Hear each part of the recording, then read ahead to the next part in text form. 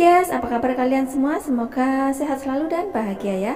Masih bersama saya The Official yang siang hari ini akan berbagi kabar dari Mantian Hoi yang masih ramai diperbincangkan soal di mana Mantian Hoi dianggap telah mempermainkan agama Islam demi sebuah konten. Dan di video kali ini mau berbagi video dari Mantian Hoi yang klarifikasi.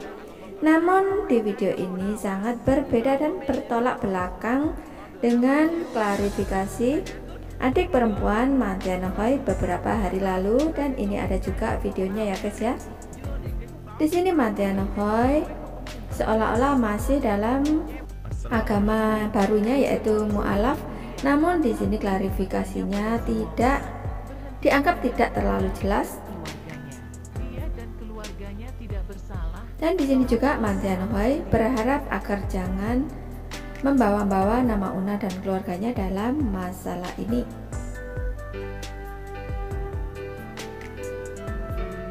Thank you.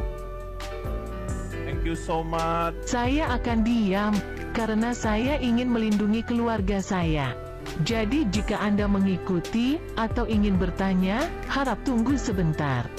Saudara perempuan saya, ibu saya mendukung tetapi mereka tidak tahu apa yang telah saya lakukan, saya belum memberitahu mereka dan tidak berbagi dengan mereka. Cukup sampai di sini, jadi jangan tanya. Oke. Dan Jika jika ada suka, silangkah tenang. guruku menyuruhku untuk diam, diam untuk merasakan, aku masih di sini dan tidak melarikan diri. Bukti Oke, yang gimana nih menurut kalian tentang klarifikasi dari. Matian Hoi ini? Apakah menurut Anda dia masih benar-benar mualaf ataukah masih dengan agamanya yang lama? Karena klarifikasi dari saudaranya sama Mantian Hoi sudah berbeda. Dan ini tadi nampak sebuah surat yang diperlihatkan oleh Mantian Hoi juga masih kurang jelas. Itu surat apa ya guys? Semoga saja dia benar-benar masih mualaf ya